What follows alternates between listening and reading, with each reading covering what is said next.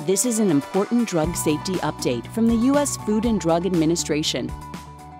FDA announced that prescription combination pain medicines containing an opiate and acetaminophen can no longer contain more than 325 milligrams of acetaminophen per tablet or per capsule.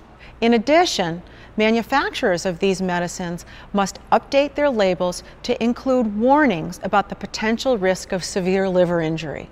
Acetaminophen is one of the most commonly used drugs for treating pain and fever. It's in many prescription products in combination with codeine and other opiates. You might know some of these as Percocet or Vicodin. It's also in many prescription medicines to treat cough and migraines.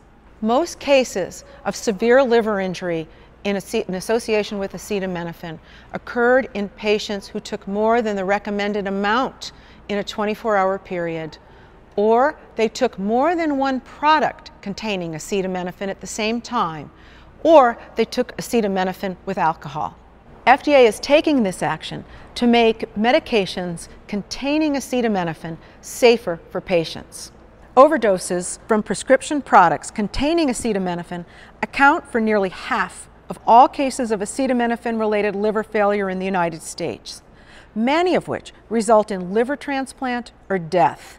This is the first in a multi-step approach to this important public health issue.